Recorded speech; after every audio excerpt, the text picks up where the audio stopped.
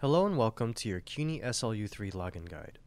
My name is Jed from SLUIT Service Desk, and you can contact us at ithelpdesk at slu.cuny.edu. Here, we will go over how to log into your SLU3 account through office.com. To start, open your preferred browser.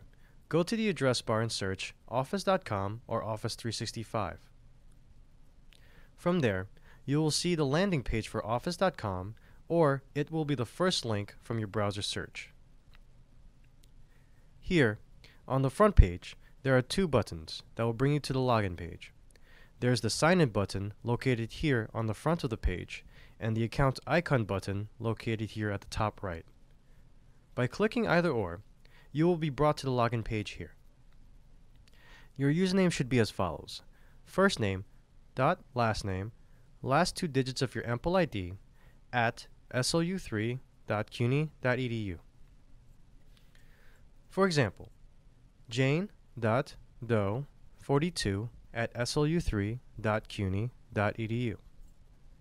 To clarify for this video, the test email displayed is missing the EMPL ID section. It is important that you do not forget that part of your SLU3 account. After you have correctly entered your username and password, there will be a notification asking if you prefer to stay signed in. What this means is that it will lessen the amount of times you will need to input your username and password when visiting office.com. So, if you close your browser or tab when reopening office.com, it will not log you out as often. You will also have the option to save your password on your browser as well. That is up to your personal preference. Once logged in, you should have access to the basic Office Suite applications and email you see here. A couple of quick important things to know about your SLU3 Office account. You can download and install a client version by clicking the Install Office drop-down button and then Office 365 apps. You can install Office 365 on up to five devices.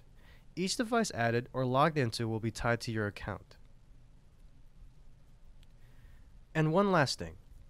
To access your most recent files on your SLU3 account, as long as the file has been created or shared through the Office Cloud, you can access it anywhere.